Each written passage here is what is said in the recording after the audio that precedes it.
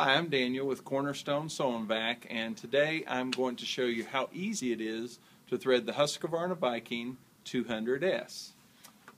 It is a very easy and straightforward machine. You can see that the whole front of it opens up. It makes it extremely easy uh, to thread. I'm going to start with our upper looper and you can see most steps I can do with just a couple fingers. I don't even have to uh, use my tweezers for many things other than pulling through uh, the loopers or, or pointing them at the uh, when I'm threading the needles.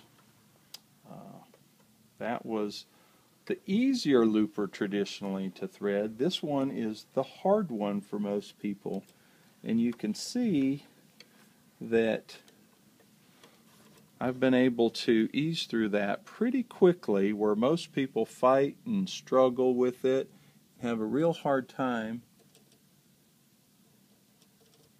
Now I'm having a hard time getting it through the eye of the looper. There we go. Uh, but those are really the two hardest uh, steps for most people in threading their serger, and the 200S just makes it so uh, brilliantly easy, if you will.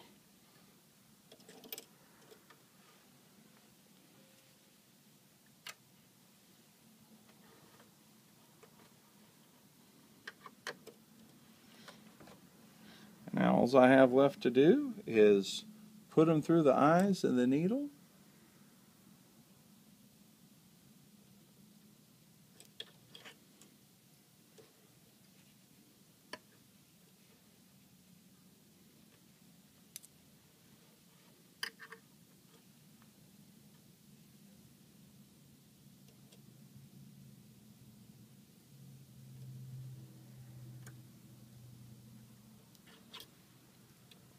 And there you have it. That is threading the 200S in about two minutes.